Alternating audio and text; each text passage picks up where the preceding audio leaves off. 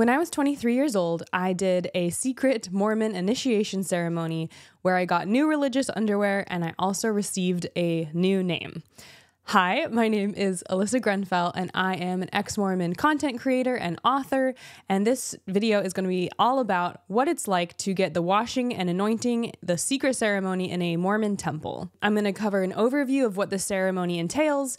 I'm also going to discuss the origins of the ordinance back to Joseph Smith, along with how the ordinance has changed over time and become a little bit more watered down, what it's like to wear the religious underwear, and when uh, what it was like for me to be a temple worker when I did this ceremony. I performed or orchestrated this ceremony myself. If you're new here, just a reminder to please like and subscribe to my channel if you want to learn more about Mormonism, if you're investigating and learning more about the church, if you're an ex member and you're kind of dealing with what it is to be an ex Mormon and sifting through stories and people's experiences. A lot of people know me from my short form content, but this long form content is really great for me to be able to make because there's so much to explain about Mormonism that a short form one minute video that I put on YouTube Shorts really isn't enough to to really explain what all of this means, the background, and honestly too to just share my story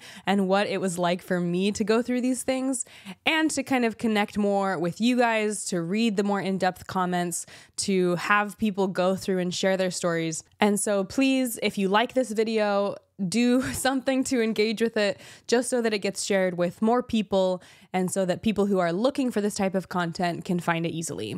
I have my devil's bean juice with me here today uh, to help me through this journey with you, where I will explain what it's like to be washed and anointed. The washing and anointing is a special sacred ceremony that happens in all Mormon temples. So if you've ever driven past a Mormon temple, it's a big white building, usually has a golden man on the top. He holds a trumpet, which signifies that he's spreading the gospel to the world, the Mormon gospel. I've done several other videos about some of the things that happen in the temple. One of them is baptisms for the dead, where you are baptized in behalf of someone who's passed away that didn't get the chance to be baptized as a Mormon. There's also the endowment ceremony that happens in the temple. That's where you see uh, the people wearing the fig leaf apron, the uh, the interesting hats, and uh, they do the different symbols and handshakes during that.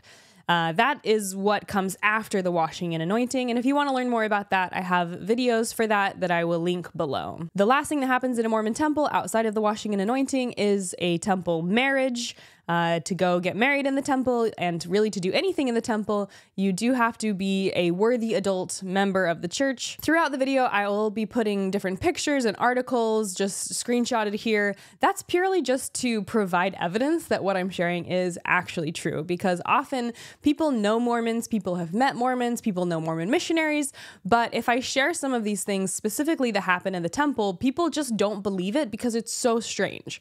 Most people know Mormons, and so the idea idea that there's a secret initiation ceremony where you get religious underwear that's never supposed to be talked about is kind of so outlandish that people don't actually believe that I'm telling the truth. Not because I think they even think I'm a liar, but because it's so strange that a mainstream religion has these very culty aspects that that's why I add these photos and these screenshots purely just to provide kind of evidence that what I'm saying is true. The washing and anointing is meant to prepare you or initiate you to wear the religious underwear, but also to go on to the endowment ceremony. So these two ceremonies, these two ordinances are really meant to go hand in hand. Uh, and when you go through for the first time through the temple, you do one and then the other. So first, when I went through, you go and do the washing and anointing you get the religious underwear, and then right after, immediately after, you go and you do the endowment ceremony. The endowment and the washing and anointing are meant to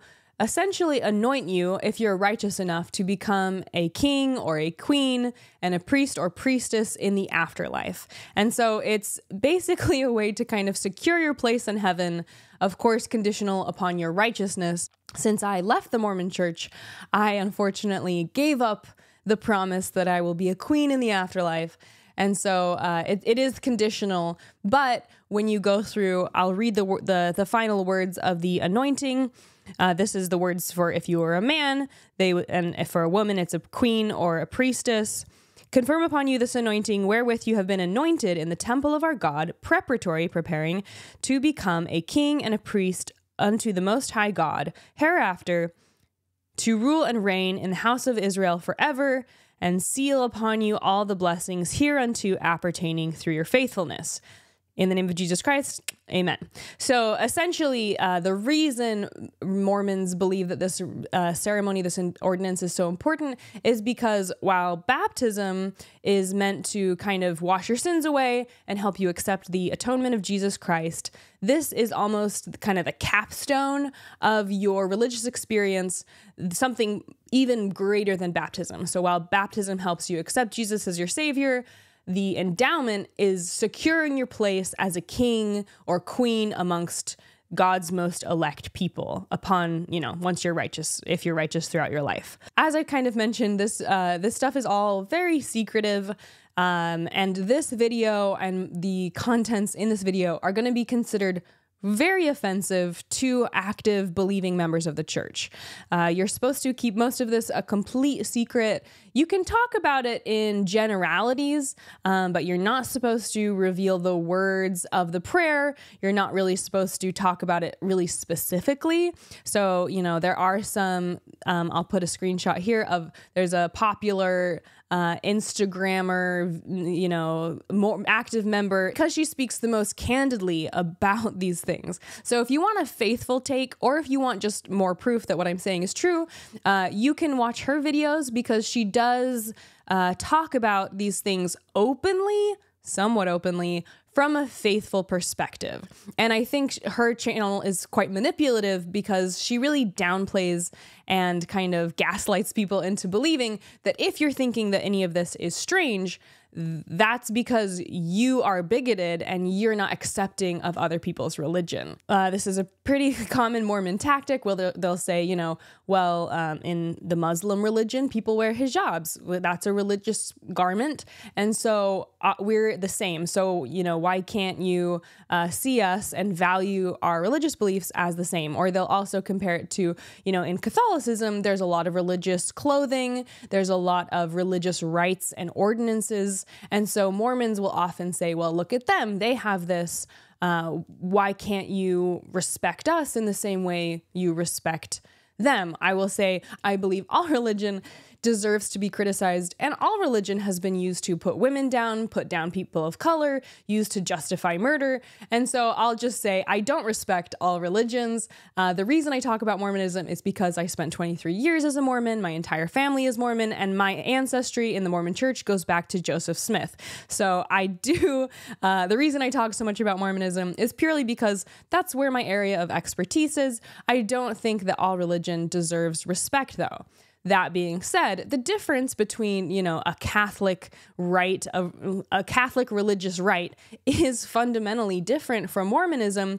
Same with hijab, purely because uh, it's not super ultra secretive. So, if I wanted to see a photo of a Catholic religious rite, or if I wanted to ask my Catholic friend about one of these uh, practices that they do, they wouldn't like look at me with complete shock. They wouldn't uh, clutch their pearls. They wouldn't end the friendship. Um, if I Google or watch a video, you know, you can go watch videos of religious rites happening in a Catholic church. You're not going to see angry, angry, hateful comments in the comment section, like you probably will on a video like this or one of my other videos about what happens in the temple. Uh, it's the secrecy that is fundamentally different. Um, and, you know, not that those religions don't have their own secrets, obviously, but uh, the reason I think Mormonism and what happens in the temple is very particular is that it is so ultra secretive that everything that I will describe today has been practiced for over a hundred years and though I grew up in the church spending hours and hours and hours every single week, uh, going to church, going to youth activities, spending time with my ultra Mormon parents, I literally never had a single idea, not one ounce of an idea, of what happened in a Mormon temple. That level of secrecy, the idea that you can dedicate your entire life to a religion and that you you see your parents, your adult parents dedicating their entire life to a religion and have not one iota of information about the temple shows how deeply deeply secretive it is within the church, within the culture of the church. If you are an active member and you do want to get more information about what happens at the temple, you essentially have to seek out anti Mormon or ex Mormon or irreligious, you know, sources purely because there will be so few sources out there that are faith based that are easy to find because the church tells you and you're expected to keep it a secret. As I said, the washing and anointing does happen in a Mormon temple. To go in the Mormon temple, you do have to have something called a temple recommend. This is a card that essentially says that you've had a religious leader, your bishop, sign off on the fact that you are righteous enough to enter the temple. Righteous enough meaning, you know, you're not having sex outside of marriage, you aren't using drugs, you're not drinking coffee. I will link below the entire list of questions, but there is a lengthy list of questions your bishop asks you that you need to be able to sign off on that you believe in these things, you practice these things, and if you pass the test, if you uh, if your bishop signs off, then you are able to enter the temple.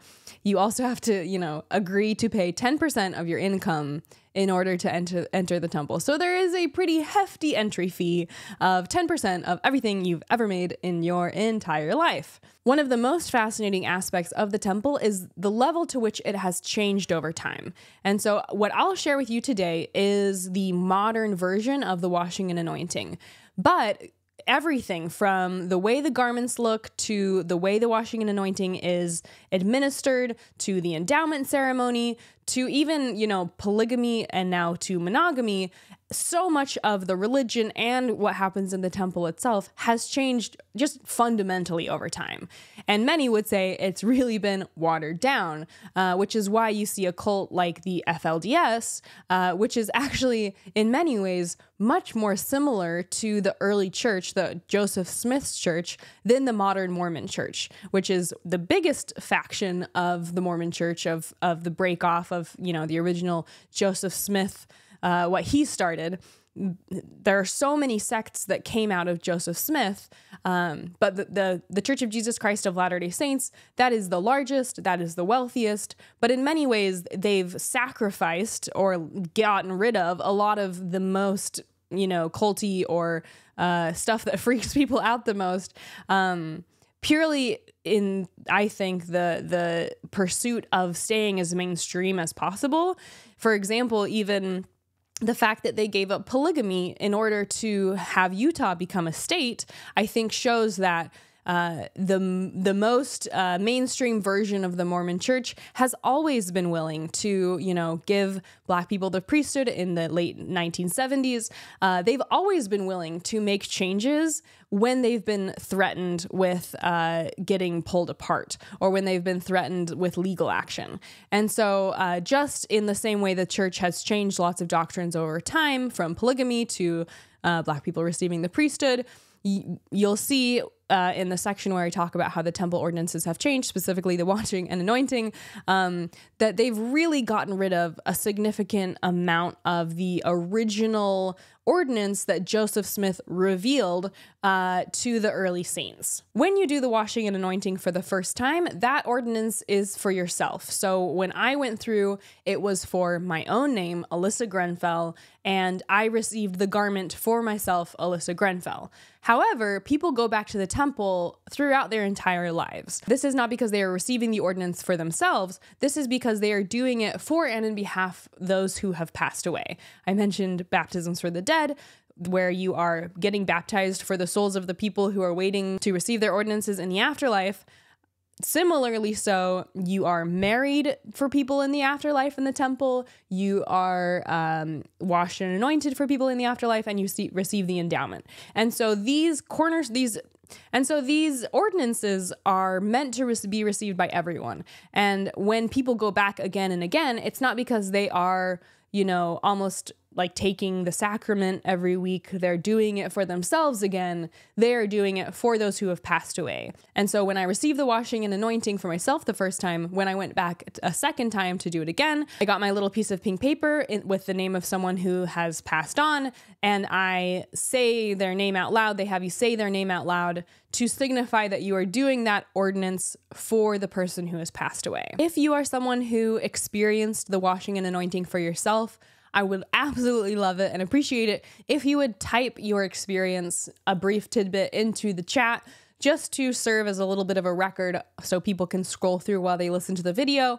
of people's personal experiences with the washing and anointing. In my next video, I plan on doing a little bit of a Q&A of frequently asked questions, and so if you have a question you'd like me to answer, please type it into the chat as well. And in my next video, I will take some time in that video to answer some of the more commonly asked questions about uh, my experience, my channel, but also about Mormonism at large. Let's jump into a description of what the ceremony currently looks like. This is more or less the ceremony that I experienced. This is going to be an overview of the washing and anointing, receiving the new name, and uh, getting the garment for the first time. To describe this, though, I'm over here now. I'm going to use a little bit of a whiteboard purely because uh, describing this is particularly difficult because there's a lot of movement involved. Um, so I'm going to draw it out as I explain it. You start the washing and anointing wearing kind of like a cloak that covers your front and your back. It's like a huge poncho, basically. Once you have your cloak on, you enter a room where they have several stalls, and in each stall,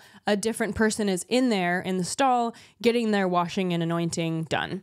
So within the stall, once you enter, it's sectioned into fourths with curtains. So you would enter with the little stall door here. And the first area is just where you uh, are sitting in your little cloak and kind of waiting your turn. So that's my cloak. Uh, in the stall, there are two people to perform the ordinance. So for a woman, it's two women, and for a man, it's two men.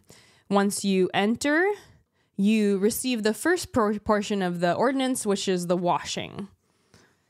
This is where they wash you and then they put their hands on your head to bless you. And they say the certain words, which I'm going to read now. This washing used to be literal in a bathtub, which I'll explain later. Uh, but now it's, as I've said, they've taken away some of the freakier parts and now, when they wash you, they just uh, stroke water across your forehead, basically. So, if you were receiving the washing, I would uh, say these words Brother YouTuber, having authority, I wash you, preparatory to your receiving your anointings. Uh, that you may become clean from the blood and sins of this generation. And I will say, as um, as the person that's giving the blessing, says each of these body parts. When I was a temple worker, we were told to gesture to these parts. I've been told now that they don't even gesture, they just say the words. Way back in the day, uh, which I'll explain more, they would touch these parts of your body. I wash your head that your brain and your intellect may be clear and active, your ears that you may hear the word of the Lord, your eyes that you may see clearly and discern between truth and error, your nose that you may smell. That one cracked me up because all of the rest of the body parts get something kind of holy or, you know, elevated but your nose is just blessed to smell. I guess Joseph Smith couldn't think of anything special for your nose to be able to sniff out. Your lips that you may never speak guile, your neck that it may bear up your head properly, kind of also funny. Your shoulders that they may bear the burdens that shall be placed thereon, your back that there may be marrow in the bones and in the spine. You can see it's all a little strange and like nonsensical. Your breasts that it may be the receptacle of pure and virtuous principles. So they really did used to touch you on the breast um, and or you know later on on the sternum. Now they don't. Your vitals and bowels that they may be healthy and perform their proper functions, so that you can poop well. Uh, your arms and hands that they may be strong and wield the sword of justice in defense of truth and virtue. Your loins that you may be fruitful and multiply and replenish the earth, that you may have joy in your posterity. Your legs and feet that you may run and not be weary and walk and not faint. So, uh, you know, it's funny to get some of these blessings and then just really wonder what they mean. So, this is totally said in a vacuum. Um, you're walking into this totally having, like I said, literally no idea what's about to happen. So they just start saying this prayer. It used to be that they would touch you. Uh, now they just say the prayer. Uh, and they don't explain any of it. There's never a moment where there's a pause and they say any questions. Uh, they just they just say the words. They just do the ordinance. There's not really uh, a lot of opportunity to say what are you doing. Um, and it's funny too because, you know, it says like, you know, your legs that you may run and not be weary and walk and not faint. I guess it's just supposed to be symbolic because certainly it's not like you suddenly have super strength where you can literally run and not be weary. Um, I guess it just, you know, you're supposed to say it's all just symbolic, but when it's all symbolic, but the symbology symbology is never explained, then it's just nonsense a little bit. So after they say those words, they uh, put their hands on your head and say, Brother YouTuber, having authority, we lay our hands upon your head and seal upon you this washing, that you may become clean from the blood and sins of this generation through your faithfulness in the name of Jesus Christ. Amen. Uh, that's the first part of the washing and anointing but we haven't been anointed yet. So then you go to the next section. So then you go to the next section, the people follow you through, and then you are anointed. So they put oil on your head, and the prayer is essentially the same for this uh, second section. They say the same words, but instead of washing you, now they are anointing you. So I guess it's, you know, like I said, they never explain it. Basically, they're washing you of dirtiness, and then they are anointing you to receive the blessings. Um, yeah. the the only difference really is that at the end of the anointing, then you receive the blessing that I said at the beginning of the video, which is that you're going to become a queen or king, priest or priestess to the most high God and that you're going to rule and reign with him forever. After you're finished being anointed, you go up into this final section of the booth, the stall, and this is where you receive the new name. And if you're going through for yourself for the first time, this is also where you receive the garment. So they would start, they would tell you essentially, now you can start wearing the garment this is how you're supposed to wear it which i'll read the words in a second and they give you the new name. When when i went through they basically just hand you the garments. Uh, it used to be though that they would actually help you get dressed into the garments from what i've read online. Uh, they would say with this garment i give you a new name which you should always remember and which you must keep sacred and never reveal except at a certain place that will be shown you hereafter. The name is blank. So uh, the new name that you receive here is meant to be carried with you later into the endowment session where you say the new name at the curtain in order to symbolize that you are giving the correct uh, words to enter through into the celestial room. Um, so it's kind of a code. It's basically a code to use later on in the temple. Uh, after you go through the temple yourself, this new name, you're never supposed to tell anyone.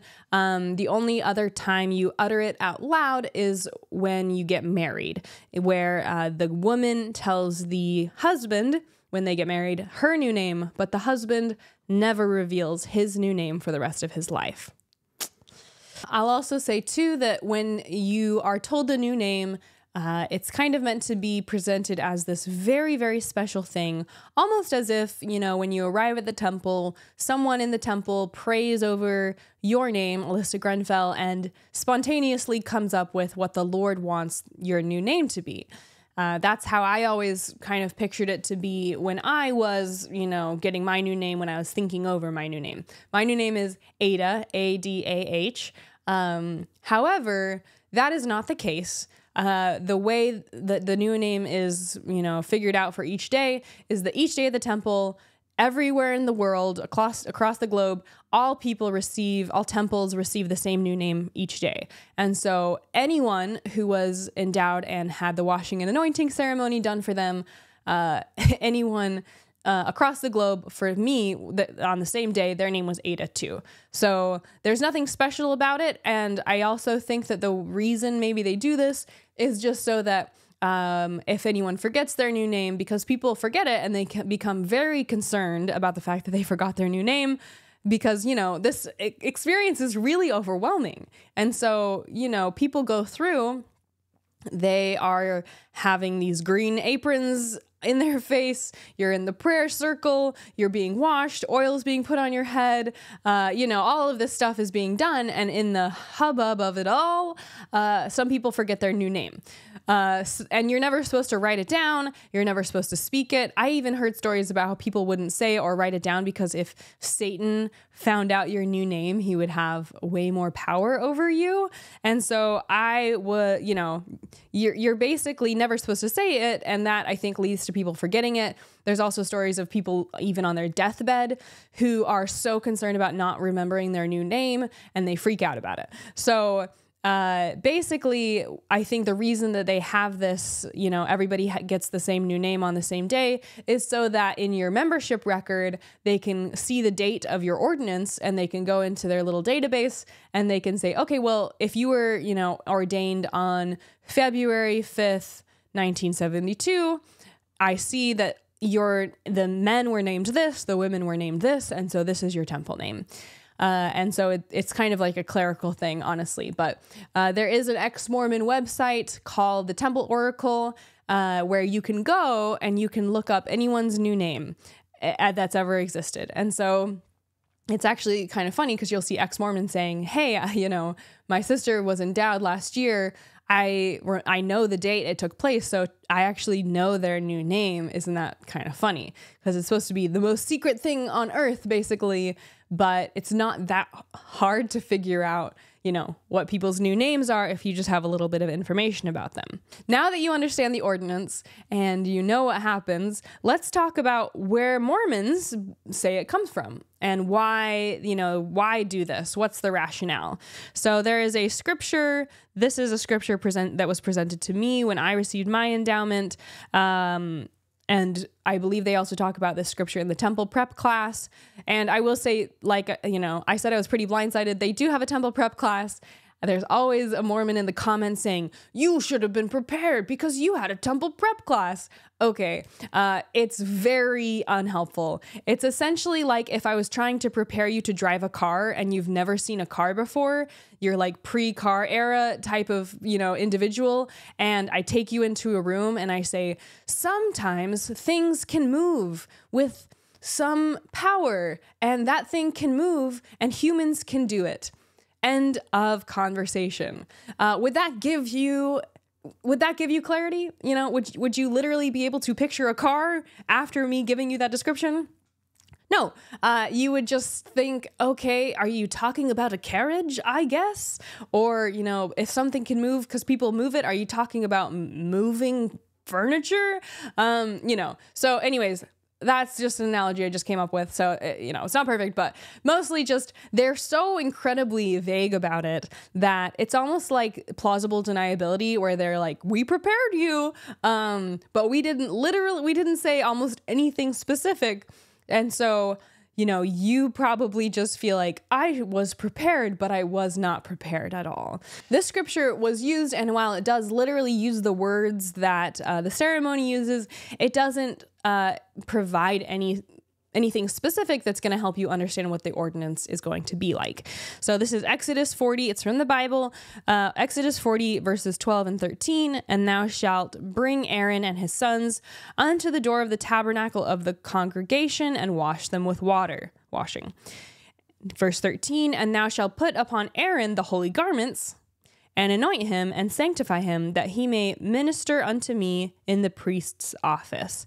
So, and so this verse has been used to le- give legitimacy to the temple ceremony because it uses the word water, it uses the word anoint, and it uses the word holy garments. And so, just like many aspects of the Bible, uh, if you work hard enough, you can pull a lot of things out of there. So this is the verse that is kind of the the number one verse the church uses to say, "Hey, look, this was in the Bible." Um, there are other instances in the Bible of people being washed to go into the temple, anointed to go into the temple. We also see, you know, Jesus washing the feet used as an example of washing. There is a book called The Encyclopedia of Mormonism, which I will link uh, below. Um, and in that, this is a Mormon friendly encyclopedia. It's on the BYU website if you want a faithful point of view. And uh, this kind of cobbles together many different verses that talk about the washing and anointing in the Bible. I think that this, in large part, is used as a way for Mormons to kind of be like, look, it's in the Bible. We are restoring Christ's original church. Um, however, this ceremony was introduced to by Joseph Smith to other, you know, his members of the church a few months after he finished uh, becoming a Mason. And so, you know, um, while these verses are kind of used to legitimize uh, this ceremony, the context under which Joseph Smith introduced this to the saints was more out of masonry and the Masonic markings on the garments, which I'll go grab to show. Uh, more is birthed from masonry and what Joseph Smith stole and learned as a mason, um, more than you know him resurrecting these ancient traditions that we find in the Bible. Let me go grab the garments. So this is what the women's garments look like.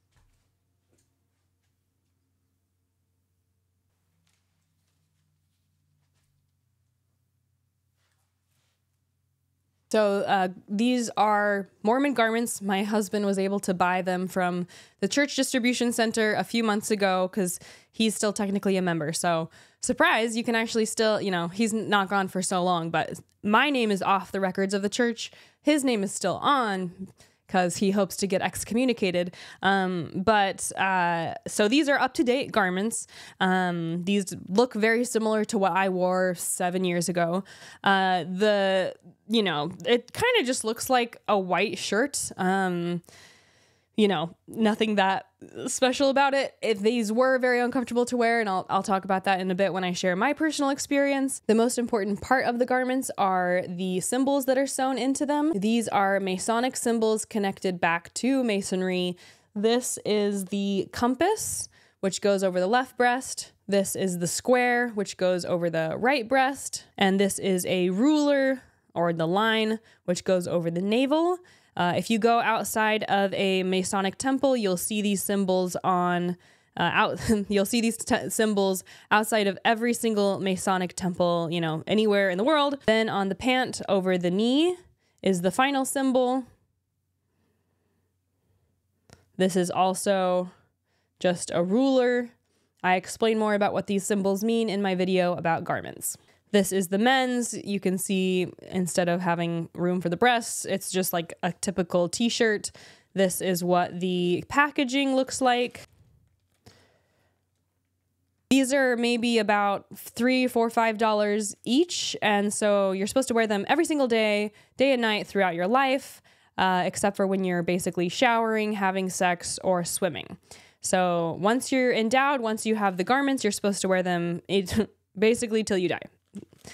Here's and there's different fabrics too. Some of them are more spandexy. Some of them are, you know, whatever this is called, um, like netting. This is called the Corbin texture. So they're all a little bit different. You can kind of choose whatever is the most comfortable for you. Now that I've explained a little bit about what Mormons say is the origin story of the washing and anointing ceremony, let's talk a little bit about what uh, the actual history is.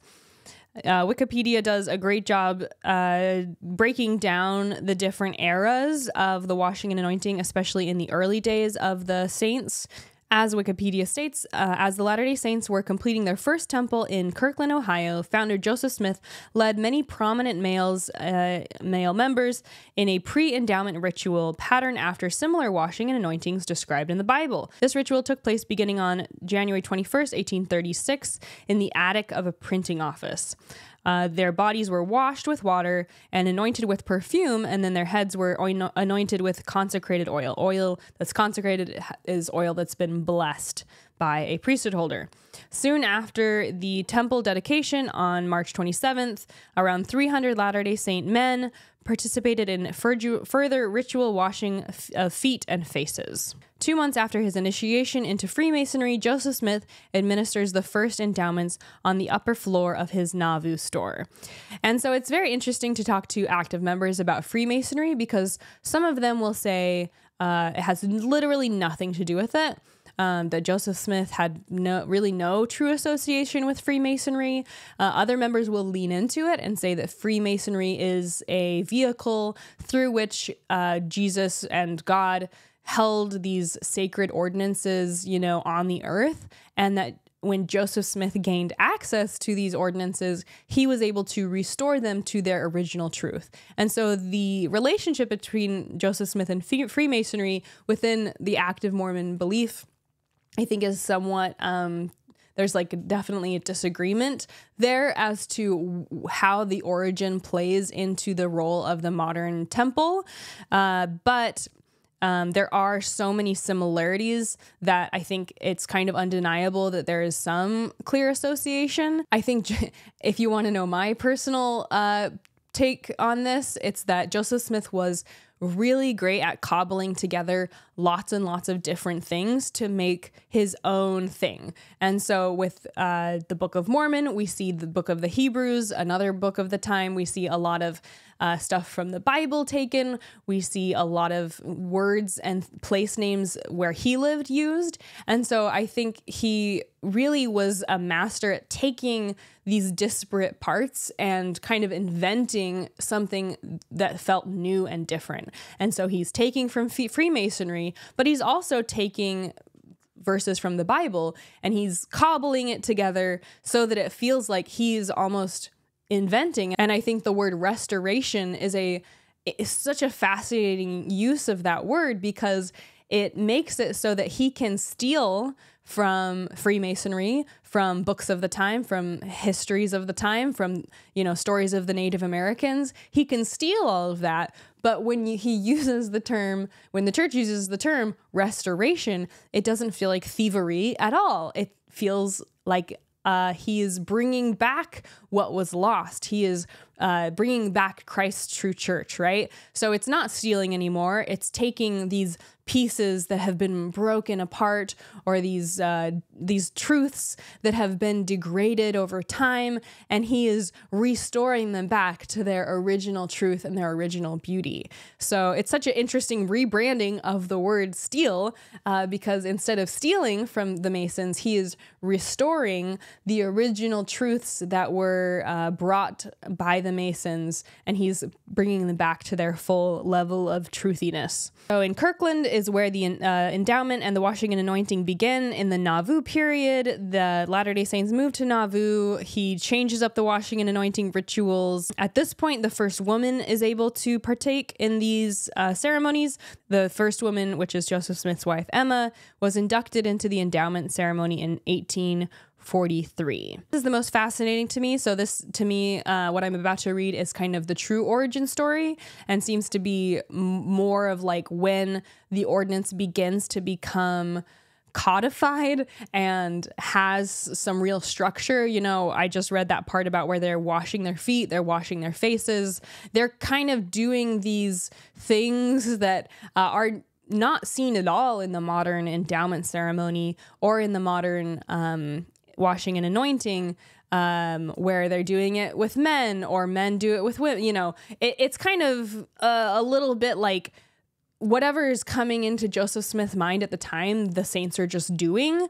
Um, there's not, as there is today, this incredibly uh, thorough list of this is exactly how the ordinance must be done. Now, every single ordinance has incredibly detailed rules as to how it's supposed to be administered, what's supposed to be worn, what's supposed to be said. Back when Joseph Smith was doing it, it was kind of just like whatever he's kind of feeling in the moment. Hey, let's try this. Let's do this. You do. The now it's men. Now let's let women do it. Um, there's not this uh, rigid set of rules that he's orchestrating.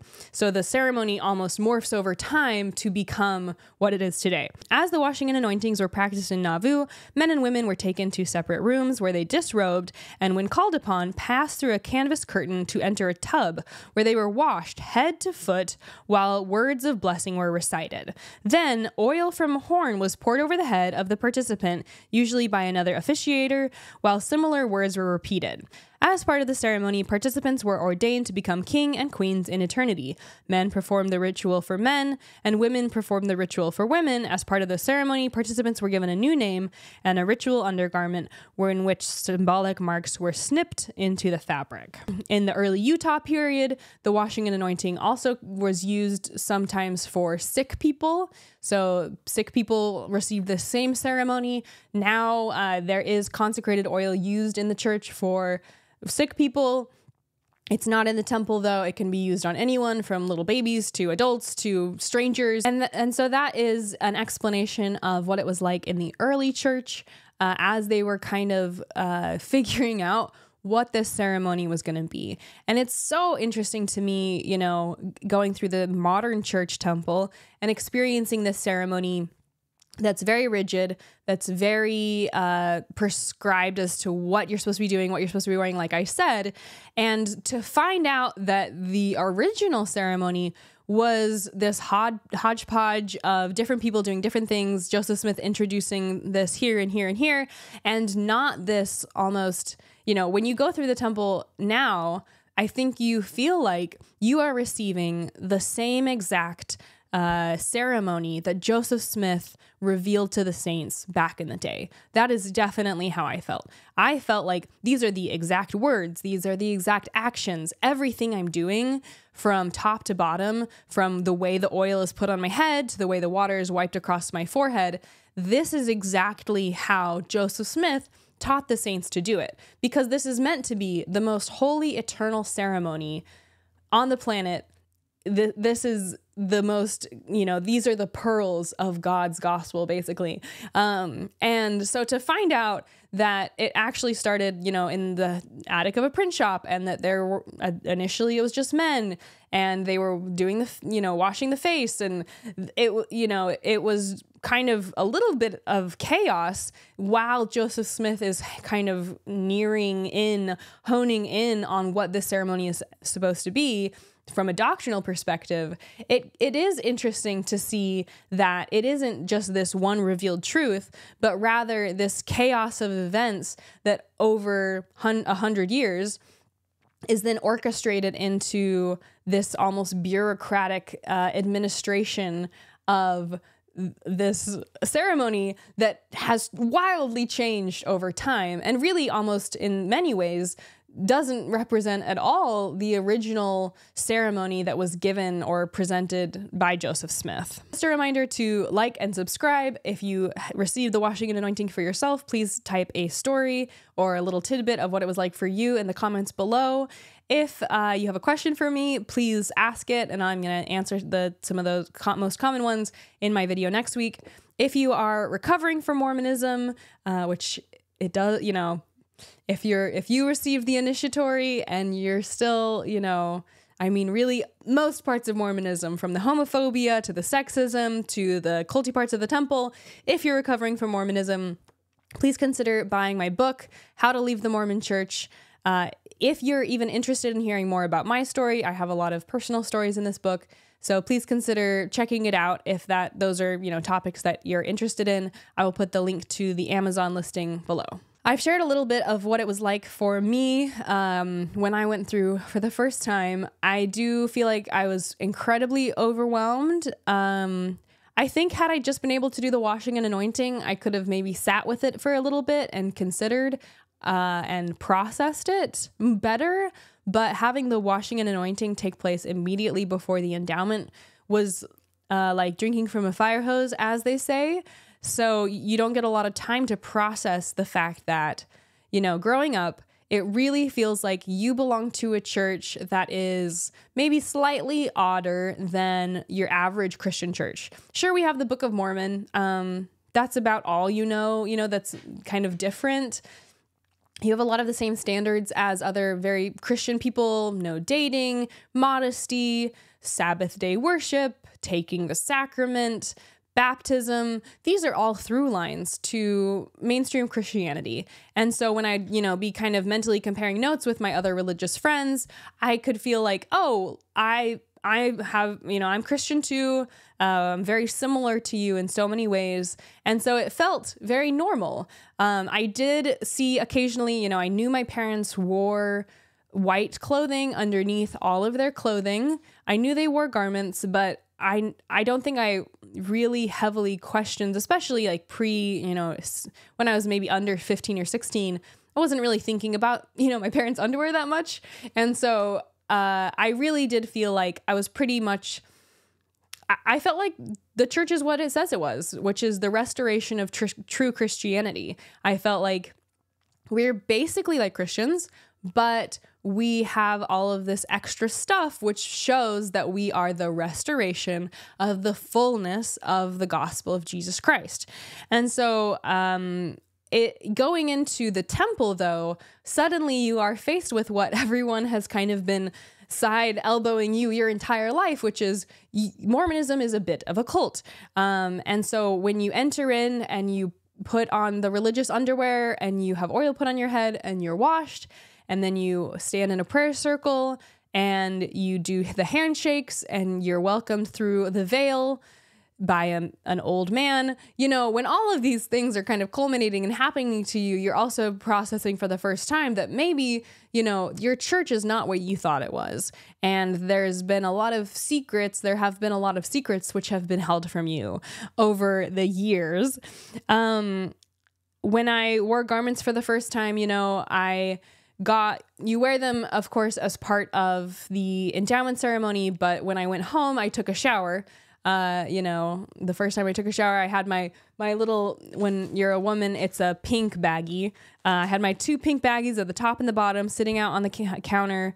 Um, and i just i i just i honestly didn't even want to step out of the shower because it felt like if i put those on you know i just went through this whole temple experience and I hated it. I did not feel uh, empowered. I did not feel blessed.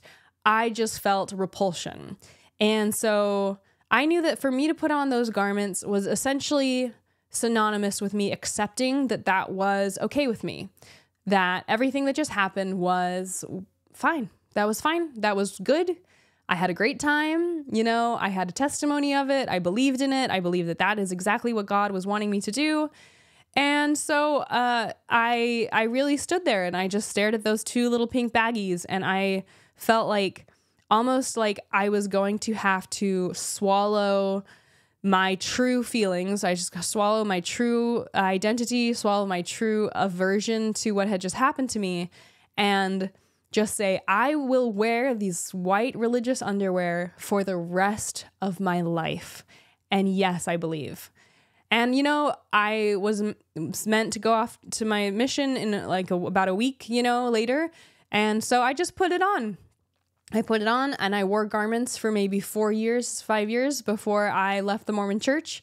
And I, after I kind of basically in that moment made a promise with myself that I'm okay with it if my mom is doing this, if my dad's doing this, if everyone I've ever be- trusted as a me- member of the Mormon church has done this, I, okay, I'm going to take it on faith, basically, literally, uh, but not even like my own faith, you know, not even my own good feeling, not even my own revelation, but merely the faith on which, uh, the faith of, you know, trusting my family and trusting the leaders and the members who I had known in throughout my life. The reason the reason I will say that I wanted to become a temple worker is because I the only part literally the only part of the temple that I liked was the fact that in the temple women give blessings and as a woman I had never seen that happen because women are barred from the priesthood and I always really envied the boys passing the sacrament, the boy, you know, not just the fact that they got to do it, but the fact that I guess, you know, that they were um, men, just the fact that they were men. That was why they were able to do it. And so, you know, I feel like I'm going to say that. And inevitably, I get a comment from an old guy in the comments saying, it's not like there was anything that great about passing the sacrament. I had to get to church early. Well, at least you got the privilege. You know, the rest of us had to sit in the congregation staring at you, wishing we had the privilege too, that we had the power, literally the power of God. That's what they call it. So, you know, um, women are very looked down upon in the church, in my opinion. We're told why do you even want you know power? You have the power of childbirth. Childbirth is the same as the power of god. Um, you know well a lot of women die in labor so i'm pretty sure no one ever died from passing the sacrament. All they did was get to sit up on the stand and say their little prayer sit up on the stand as a bishop hold their child as they blessed them. And, you know Am I angry about this? I might be. Uh, uh, as long as we're talking about sexism, I did mention earlier, you know, the husband gets to find out the new name, and uh, the the husband never tells the new name. Also, within the temple ordinance of, uh, you know, when they're you're married in the temple, the husband receives the wife, and the wife states that she will give herself. There is no equality even attempted in a temple marriage, you know, in the ceremony, ceremonial words themselves. And so I also found that super, you know, frustrating the fact that I give my new name, I tell my secret name, but I don't get to know the secret. So one of my favorite parts of leaving the church was being able to say, "What's your new name?" Tell me. and getting to finally find out my husband's new name, you know, and he knew mine and finally we get to only after leaving the religion of our childhood uh, feel true a true sense of equality, you know, in our marriage. And that was honestly kind of fun for both of us. I also think the whole special underwear thing does in many ways harken back to one of my biggest frustrations with Mormonism is this uh, high value placed on rule following, you know, like not drinking coffee. The idea, you know, that you would get to heaven and you see Jesus Christ, and he really, really wants to know did you drink coffee? That's what the most powerful beings in the entire universe care about. They really care that humans don't drink coffee. Um, you know, I guess I could see alcohol, I can see the reasoning behind drugs, but coffee? Uh, and it's the same goes with underwear. You know, Jesus when when I get to heaven, Jesus is gonna say, "Did you wear the underwear correctly?" Um, you know, that's that's surprising to me. But if you don't wear the underwear correctly, uh, that is breaking your temple covenants, and that's really serious. I think this is a lot of where religious scrupulosity comes from in Mormonism because you're kind of taught that your salvation hinges on the most minute rules. And so, you know, it's not just about wearing the garment, but it's about do you wear the garment under the bra or over the bra? Because if it's under the bra, you are actually keeping Christ and the temple closer to you. And so that's more righteous. And so it, it very much feels like in Mormonism, there is always an answer for what is the most righteous uh, and what's the the good, better, best, you know, version.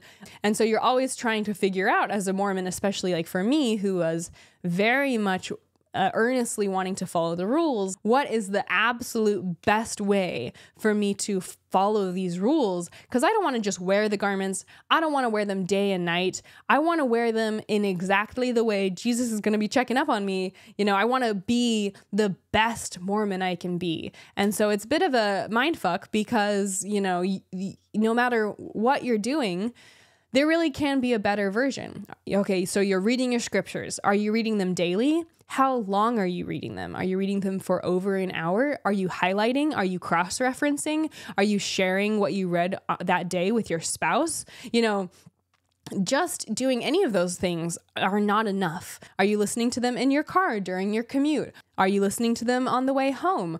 Are you talking to your kids about the scriptures? Um, you know, no matter what you're doing as a human being, you know, you always could be more righteous. And I think that was the part of Mormonism that really haunted me was that it always felt like I could be doing more. I could be more righteous. Sure, I'm you know, praying, but am I praying earnestly? Am I praying on my knees? Am I praying for a long enough period of time? Um, there's so many metrics by which you can judge yourself as an active member of the church. And you're always going to fall short. You could always be doing more. And that's, I think, too, why part of me loved serving a mission was because there were so many rules and I could be following just this absolutely rigid schedule, not because I liked it, but because I felt like for the first time in my life, I can literally only be doing religious things. And so this is the best I've ever felt about myself because this is the way I know I'm a good person. For our last portion of the video, I wanted to talk a little bit more about how the ceremony has changed over time, specifically from the early 1900s to today.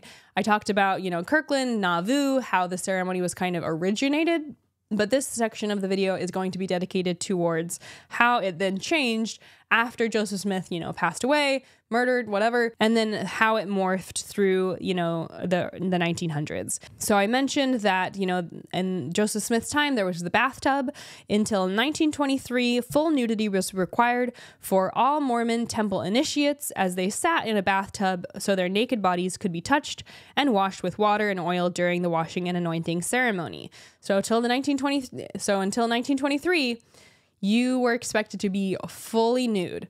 You know, that's crazy. From 1923 on till 2005, initiates wore some uh, shield, basically the cloak I told you about with openings. So my cloak was just a full cloak, it was just a white sheet. Uh, from 1923 to 2005, though, that cloak had openings because they still were touching you on the body, you know, on skin to skin. So that cloak had openings near the crotch, breast, and butt areas to preserve some modesty while still allowing the officiator, still of the same sex, to slip their hands underneath for uh, the naked touching during the ceremony.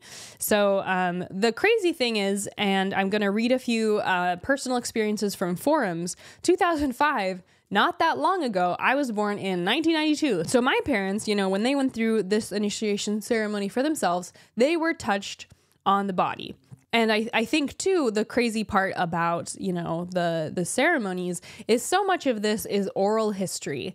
Keep in mind, as I said, you're heavily discouraged from ever writing this down from ever speaking about it. And so much of what we know about the washing and anointing over time is is really only from word of mouth, journal keeping, and then ex members sharing publicly what happened in the temple. So, really, in many ways, Mormonism is one of the few uh, oral traditions that is still alive. You know, most things are written down, most things are digitized. Mormonism is one of the few things where the oral history is the only record by which we know what happened there's not an official press release that goes out from the church that shares these detail the details, you know, the differences in the ceremonies. It's all just, you know, personal testimony that we that we have to rely on. I am going to read a few um, comments from a few forums. I'll also share in a link the forums below so that if you're curious to read more personal experiences, you can go to some of the forums I link below and read them for yourselves. I'm only going to read a few. This person says, in 1990, I did the naked with a poncho over me with open sides. Some old lady would anoint the different areas with water. This wasn't something where she'd drip water on you like they'd pour oil on your head during a blessing. She actually dipped her fingertips in water, then oil, then stroked it on my body. Uh, it was so long ago, though, I can't remember where all the anointing areas were. I went through in 2004. I was also naked under a poncho, which was wide open on both sides. So, um, there are different, you know, I, I think they must have had several different poncho uh, styles because there are some people who say that they had a poncho with the openings in the different areas. There are some people, though, who say that their poncho was basically like a front flap and a back flap with the, you know, slit in the side completely open.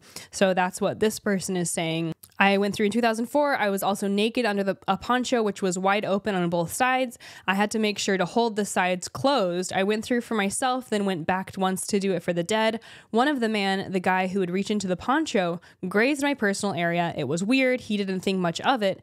It didn't even apologize. I wouldn't be surprised if he did it on purpose. So uh, there's a lot of stories for sure, especially of this early time, you know, prior to 2005, where people are just touching your body. Like they are fully touching your breasts, touching your private areas, and you are fully open to that. You know, that's called in everywhere else in the world that's called sexual assault um, but because it's under this re- secretive religious you know ceremony you know, this person literally had a stranger touch him on the penis he didn't say anything about it, right? Um, mum's the word. And that's not because he wasn't uncomfortable, but that's because he was told that it was okay because he was doing it as part of a religious ceremony. I attended the temple scores of times during the last era of the naked hijinks, 1973 to 1991. No orifice anointing because my officiators were instructed to keep their culty fingers two inches from the pubic hair. I had my penis touched at least a dozen times. So, you know, this person is saying it sounds it sounds like and reading a lot of these, you know, the people who are doing the ceremony are told, you know, don't touch them, don't touch their private parts, but then it happens. You know, it happens in most of these, you know, it happens in a lot of these people's testimonies, their stories that even though they're not supposed to touch, they touch. So it it just seems like a, obviously an opportunity for predatory behavior to run rampant because, oops, I accidentally touched you seems like something that happened to a lot of people. This person says, um, touching the genital areas wasn't a proof procedure, but some people have reported that they personally were touched in their genital areas. I mean, full on, directly touched or groped. In other words, they were sexually assaulted. As I said, if you want to read more of those stories, you can go uh, to some of the links. You can also just Google washing and anointing experience, uh, Reddit or whatever. There's lots of people sharing these experiences online. Uh, I think too, like I shared the whole, you know, sexual assault thing.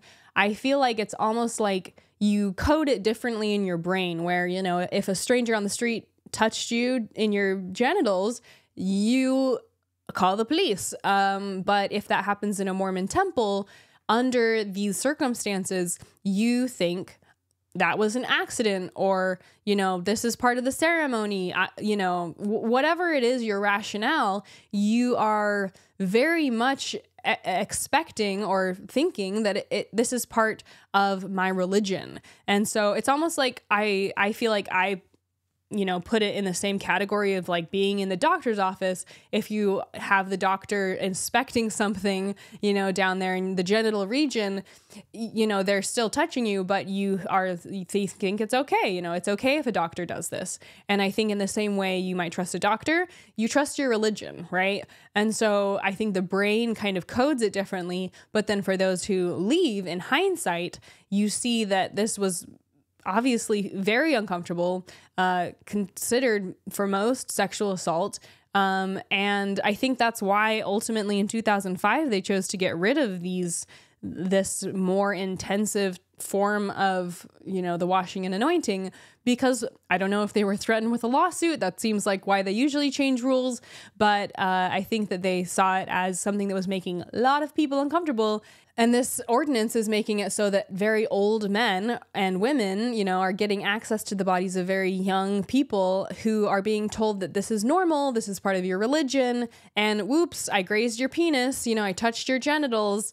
Uh, and and that's pretty horrible. Uh, I think. I think that's why we haven't seen lawsuits against the church for this. Uh, I kind of wish someone would bring a lawsuit, but who knows? Probably statute of limitations is such that anything that happened in 2005 you could no longer litigate. I have no idea.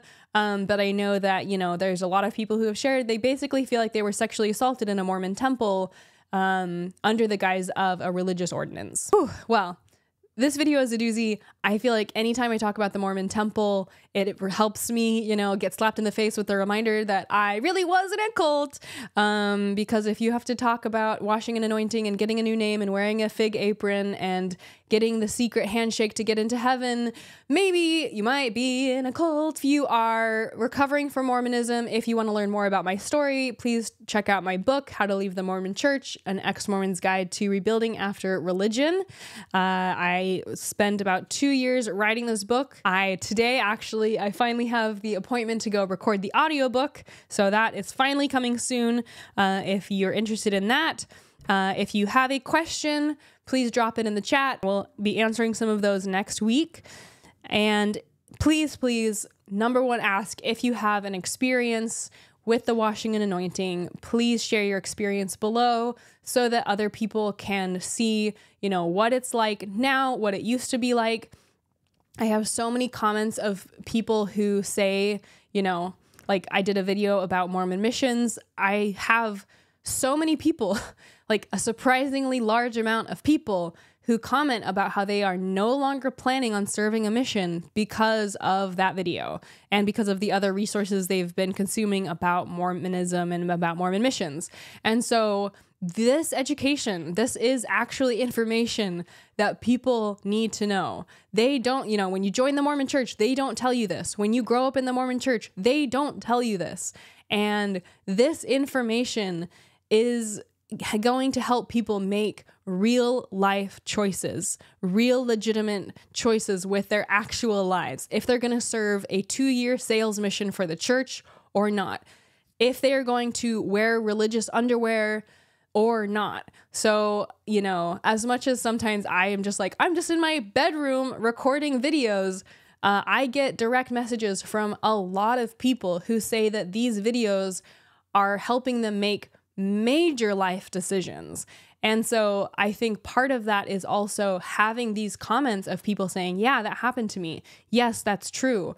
This is what it was like for me. Those are so powerful because it not only adds legitimacy to what I'm saying, but it, it also provides a record for people to read through while they seek out this information, while they watch this video, and it helps them make fundamental life choices. So, you know, if you have the time here at the end of the video to type out a quick comment of what it was like for you to go through a Mormon temple, what it was like for you to wear garments, what it was like for you to receive the washing and anointing and new name, please uh, drop it below, and I will see you all next week.